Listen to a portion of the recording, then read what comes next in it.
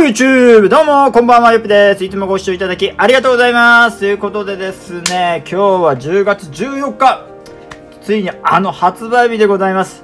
で、私もですね、2日前に悩みに悩んで、えー、ポチりました。はい、えー、皆さんご存知の、鬼滅の刃ですね、日の神血風炭。えー、本日発売ということで、私が選んだのはプレイステーション4ですね。はい。えー、まあ、なぜかというと、プレイステーション4しか持ってないからでございます。当たり前ですね。えー、5持ってませんよね。うん。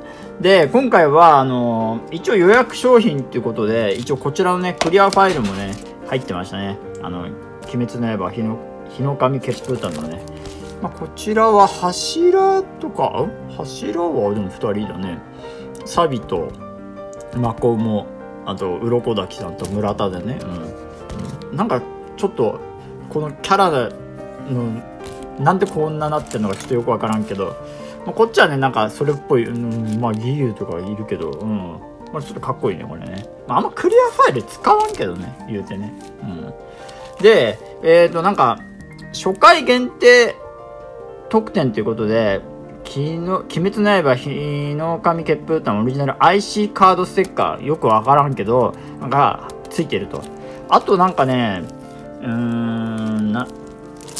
なんか最初の特典とかなんとかって言ってなんだ赤座が使えるようになるとかなんとかって言ってたんだけど正直ね迷いました俺これ買うのに。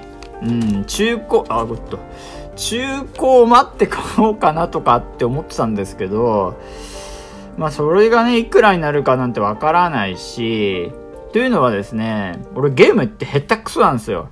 ほとんどやんないし。でさらに言うと格ゲー多分これ格ゲーなんでしょこれバーサスモードとかさ。格ゲーってダメなんですよね。あのコマンド入力ができない。うん。スト2とか鉄拳とかまあやったことありますけどまあ昔で言うとね東神殿2とか。知ってる人いるかな？プレイステーションの時のね全然面白くなかった。で鉄拳とかはまあなんかかっこよかったけど、まあ、全然そのコマンドとかよくわからないからスト2とかでも、まあ、昇竜拳出せないねうんだからもうねチュンリとか選んであのもうキック連打とかパンチ連打とかあとジャンプでかわすだけだからまあ当然すぐ友達とかにもやられちゃうんだけどまあ、俺が期待してるのはこのソロプレイモードですね。ソロプレイモード。要は、そのストーリーを追っていく、追っていくっていうね。そこでも多分戦いがあるんだと思うんだけど、まあ、あの、この、これをね、その、公式ホームページの映像だとか、その YouTube で見たら、めっちゃ絵が綺麗で、なんだろう、ほ、ほ、ほんとなんか原作見てるようなか、まあ、そういう映像になっ多分ゲームで流れると思うんだよね。うん。これはちょっと見てみたいなっていうのと、プレイステーション4を買ったはいいけど、さっき言ったようにゲームらしいゲームってあんましてないんだよね。うん。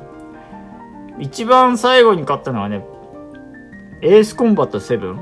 多分プレイ回数10回程度で、なぜかっつうと、対地ミッション、ミッション2かな？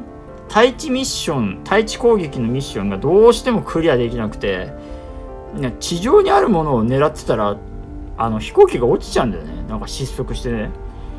でもこの間なんとかねちょちょっとね再びちょっとやってみたんだけどこれを買う前にねちょっとやってみようかなと。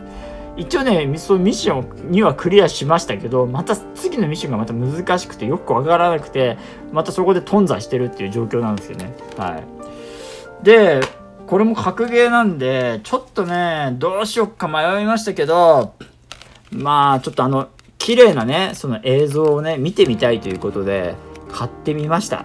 はい。私はね急に思い立ってねこうまあ買うかどうかは悩んでたんですが、あの急に思い立ったんでなんかもしかしたらこれフィギュアがついてるやつとかなんかあるんだね多分ねあの高いやつはね。うん、うん、おっとなんでこれ？おいおいおい説明書がねえよ。なんでこれ？どうやって遊ぶんだこれ？マジか？俺今これなんか簡単な説明が書いてあるのかと思ったんですよこうなんかコントローラーの動きとかそもそもプレイステーション4になってからボタンの数が多すぎると思いません？あれ L1 ってどっちとか、どれとか、L と R ぐらいわかるけど、1、2、3って書いたんだよな、あれ。それがまずわからない。うん、ということで、これちょ、ちょ、これオンラインでこれをしらやんなきゃいけないわね、これね。これぐらいは書いてくれよ。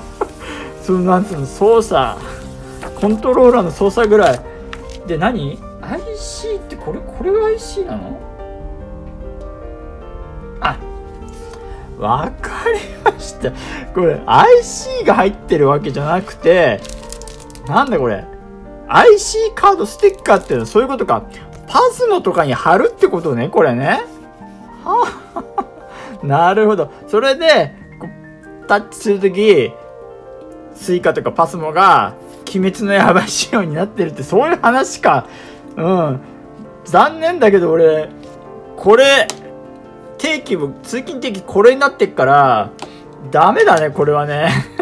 あの、今、物理的なその IC カードも、その、スイカとか持ち歩いてないんで、パスモもね。これは、まあ、じゃあ取っておくと。ま あまあ、売らないと思うけど、これどうしてもダメだってなったら、中古で売るとかね。まあそういう選択肢もあるわけですからね。ダウンロード版じゃないんでね。うん。ただね、でもね、やっぱね、久々にちょっとね、これちょっと面白そうだなと思ってね、あの、買ってみました。まあ、あの、今回はね、あの、ちょっとこの、ゲーム実況ではないんですけれども、まあ、プレイしてるところも録画できたらいいなと思います。はい。うまくできるか分かりませんけれども、正直言ってそのゲーム実況の動画なんての見たことないですから、一回も。何を喋ればいいんだろうね、あれはね。まあ、うわーとか、やられたとか言えばいいの？うん。まあちょっと勉強し、勉強しない方がいいな、こういうのな。うん。なんかそれに釣られちゃうと困るからね。まあ俺、思った通りのものをや、ちょっと録画して、あの、動画にしてね、あの、アップロードしたいなと思ってますけど、まあ明日も仕事なんで、ほんの触りしかちょっと今日はや、やできないと思うんですがちょっと休みの日はねあのちょっとこのソロプレイモードのねちょっとあの動画をね起こしたいなと思います。というわけでですね今日はですねとりあえず、えー、開封ということで、えー、プレイステーション4版の鬼滅の刃日の神血風炭を買いましたというただそれだけの動画でございます。最後までご視聴いただきありがとうございました。よっぴでした。さよなら。これで難しそうだな。でき